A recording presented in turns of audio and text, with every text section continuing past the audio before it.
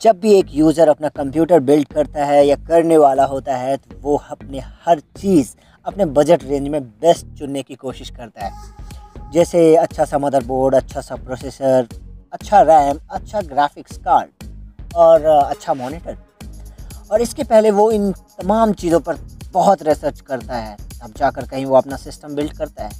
लेकिन इन सभी चीज़ों के बीच वो एक महत्वपूर्ण चीज़ बिल्कुल ही भूल जाता है या यूँ कहें ये चीज़ उसके दिमाग में ही नहीं आती। जी हाँ दोस्तों, मैं बात कर रहा हूँ चिप सेट की। अब चूँकि वो एक नया यूज़र होता है, इस कारण से उसे इस चिप सेट के बारे में कुछ भी जानकारी नहीं होती है, लेकिन वही बात हम ऐसे यूज़र्स की करें जो कि लंबे समय से कंप्यूटर का यूज़ कर रहे होते हैं, उन्हें भी इस चिप सेट का कोई आइडिया नहीं होता है। हालाँकि ऐसा बिल्कुल नहीं है कि किसी को भी इसका आइडिया नहीं होता। बहुत सारे लोग ऐसे भी हैं जिनको इसका अच्छा आइडिया होता है, लेकिन ऐसे लोग आपको बहुत कम देखने को मिलेंगे। दोस्तों, अब ऐसा होता क्यों है कि ज़्यादातर लोग इस चिपसेट के बारे में नहीं जानते या उन्हें इसकी जानकारी नहीं होती है? दोस्तों, इसका एक बड़ा कारण है चिपसेट का बाकी कंपोनेंट की तरह उतना पॉपुलर ना होना। जी हाँ इसका मेन रीज़न यही है, क्योंकि बाकी कंपोनेंट्स जो अपने आप में ही काफ़ी पॉपुलर होते हैं, जैसे RAM processor motherboard graphics card इत्यादि। इन सब के बारे में हर एक यूज़र जानता है, चाहे वो कितना भी नया क्यों ना हो, लेकिन जब बात आती है चिपसेट की बात तो दोस्तों अच्छा एक चीज़ और भी देखने को मिलता है, वो ये कि पूरा सिस्टम खरीदने से लेकर सेट करने तक कोई भी इस चिपसेट की बात नहीं करता, चाहे वो दुकानदार हो या सिस्टम बेल्ट या असेंबल करने वाला व्यक्ति। तो ऐसे में भला नए यूज़र इसके बारे में कैसे जान पाएँगे? तो मेरे हिसाब से तो ये कुछ चीज़ें हैं जिनके कारण लोग इस चिपसेट के बारे में नहीं जान पाते यदि आप भी इन सवालों के जवाब जानना चाहते हो तो बने रहिए इस वीडियो के साथ। क्योंकि आज के इस वीडियो में दोस्तों, मैं काफ़ी विस्तार से बताने वाला हूँ आप सबको कि चिपसेट क्या होता है, किस लिए होता है, कहाँ होता है और कंप्यूटर में इसका क्या रोल होता है। तो चलिए शुरू करते हैं।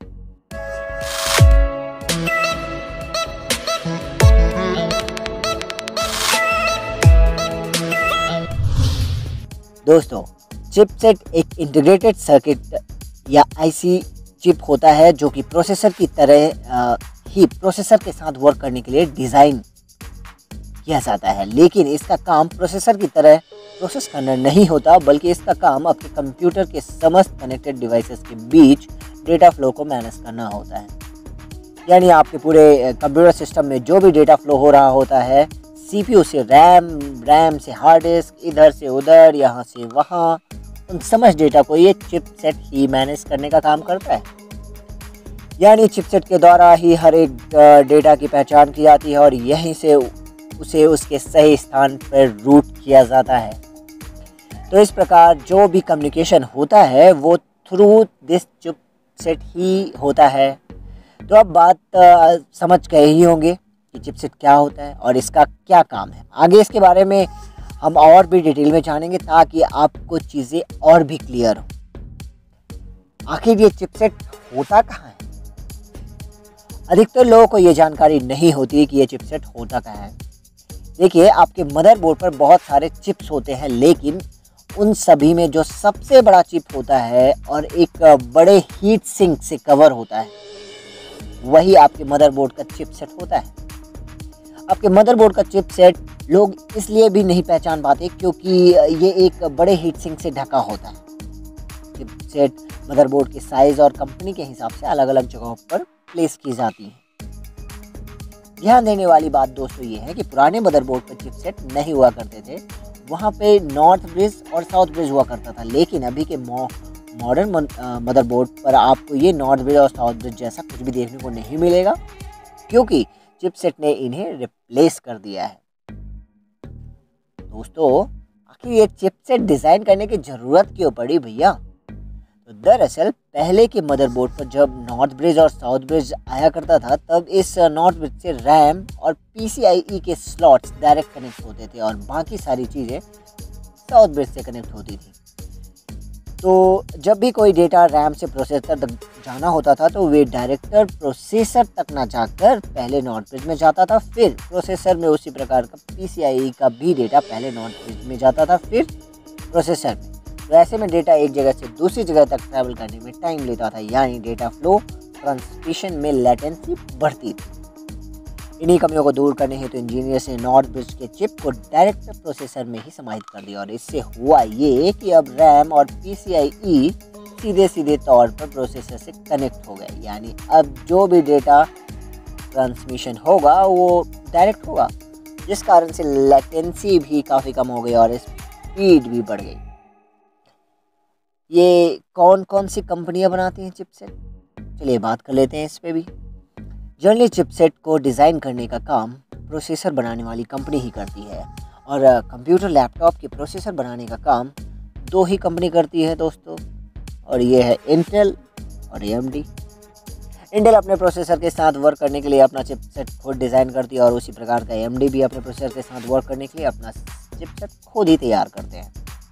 इन दोनों के अलावा और भी बहुत सी कंपनीज़ हैं जो चिपसेट बनाती हैं, जैसे Gigabyte ASRock M S I Asus लेकिन यहाँ पर हम केवल इन्हीं दोनों की बात करने वाले हैं।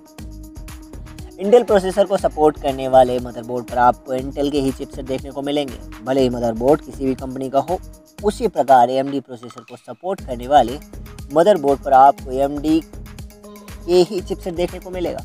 लेकिन इस बात का ध्यान रखें। इन दोनों का टाई अप और भी दूसरी कंपनीज़ के साथ होता है। तो ऐसे में कुछ मदरबोर्ड पर आपको थर्ड पार्टी के चिपसेट भी देखने को मिल सकते हैं। अब ऐसा बिल्कुल भी नहीं हो सकता कि आप ए चिपसेट वाले मदरबोर्ड पर इंडेंट का प्रोसेसर लगाने की कोशिश करें और इंटेल चिपसेट वाले मदरबोर्ड पर ए एम डी का प्रोसेसर लगाने की कोशिश करें। क्योंकि ऐसा कभी होगा ही नहीं। इंटेल के साथ इंटेल चिपसेट और ए के साथ ए चिपसेट ही आप इस्तेमाल करें। ध्यान दीजिए। इंटेल प्रोसेसर सपोर्टेड मदरबोर्ड पर आपको एक ही चिप्स देखने को मिलता है। वहीं ए सपोर्टेड कुछ एक या दो जनरेशन पुराने मदरबोर्ड पर आपको दो चिपसेट भी देखने को मिल सकते हैं। ये ए का एक अलग आइडेंटिफिकेशन या यूनिकेशन कह सकते हैं। हालाँकि ऐसा ज़रूरी नहीं है कि ए के सभी मदरबोर्ड्स पर आपको दो चिपसेट देखने को मिले। अब आप सोच रहे होंगे कि क्या चिपसेट का, का बस इतना ही काम है? एक कंप्यूटर सिस्टम में बस इसका इतना ही रोल होता है। तो इसका जवाब है नहीं, बिल्कुल भी नहीं, क्योंकि इसका मेन काम तो अभी जानना बाकी है। तो चलिए इसे भी जान लेते हैं। देखिए इंटेल और ए जब भी अपने नए जनरेशन के प्रोसेसर को लॉन्च करती हैं तो वो उसके साथ कई चिपसेट भी लॉन्च करती हैं, जैसे entry level chipset budget range mainstream level chipset mid range and enthusiast level chipset high end range अब ये तीनों क्या है भैया? चलिए फटाफट से जान लेते हैं। इंट्री लेवल चिपसेट जैसा कि नाम से ही पता चल रहा है कि एकदम नॉर्मल यूज़र बनाया गया होता है, जिसका काम बहुत ही कम और नॉर्मल जैसे M S Word Excel PowerPoint playing song watching video और नेट सर्फ मेन स्ट्रीम की बात कर लेते हैं लेबल चिप मेन स्ट्रीम कैटेगरी में वो यूज़र आते हैं जो नॉर्मल यूज़र थोड़ा ऊपर होते हैं, जिनका काम ना तो बहुत हैवी होता है और ना ही बहुत ही नॉर्मल यानी वो अपने सिस्टम से नॉर्मल और हैवी दोनों प्रकार के काम को बड़े ही आसानी के साथ करते हैं। ध्यान देने वाली बात है, यहाँ पर हैवी वर्क का मतलब मेन स्ट्रीम लेवल के वर्क से है, ना कि एक्सट्रीम लेवल के वर्क से। तीसरा इंथ्यूजस्ट लेवल चिपसेट तो इंथ्यूजस्ट कैटेगरी यानी एक्सट्रीम यूज़र जिनका काम बहुत ही हाई लेवल का हो, जैसे heavy editing audio video mixing rendering three D gaming animation three five modelling workstation level work extra ये चार चीज़ें जो होती हैं, काफ़ी हेवी होती हैं। ध्यान दें, इनमें से बहुत सारे वर्क मेन स्ट्रीम कैटेगरी वाले से भी किया जा सकता है, लेकिन सभी नहीं। और दोस्तों, अब सबसे ज़रूरी बात। अभी तक हमने जाना कि चिपसेट हमारे सिस्टम के समस्त डेटा को मैनेज करने का काम करता है, लेकिन अब हम जानेंगे कि चिपसेट एक कंप्यूटर सिस्टम में क्या रोल अदा करता है। दरअसल, एक चिपसेट ही ये तय करता है कि आपको आपके सिस्टम में क्या क्या चीज़ें मिलेंगी, कैसे मिलेंगी, कितने अमाउंट में मिलेंगी एक्सेट्रा जैसे कितने यूएसबी पोर्ट्स मिलेंगे, कितने सेटा पोर्ट्स मिलेंगे, कितने पी सी आई ई स्लॉट्स मिलेंगे, कितने रैम स्लॉट्स मिलेंगे इत्यादि तो ये चिपसेट वर्क के अकॉर्डिंग डिज़ाइन किया जाता है। यदि आप पुराने कंप्यूटर यूज़र हैं तो आपको पता होगा कि बहुत साल पहले जब कंप्यूटर आज की तरह उतना कॉमन नहीं हुआ करता था, तब हर एक प्रकार के यूज़र के लिए एक ही प्रकार का मदरबोर्ड होता था, जो काफ़ी बड़ा और बल्कि होता था और साथ ही काफ़ी महँगा भी। तो ऐसे में लोगों के पास कोई और विकल्प नहीं होता था। सिवाय इसी को परचेस करने के इसलिए, जिसे इसकी ज़रूरत नहीं भी होती थी, उसे भी इसे खरीदना पड़ता था, भले ही वो यूज़र बिगनर ही क्यों ना हो। अब क्योंकि एक ही प्रकार का मदरबोर्ड होता था तो इसलिए चिपसेट भी एक ही प्रकार का बनाया जाता था।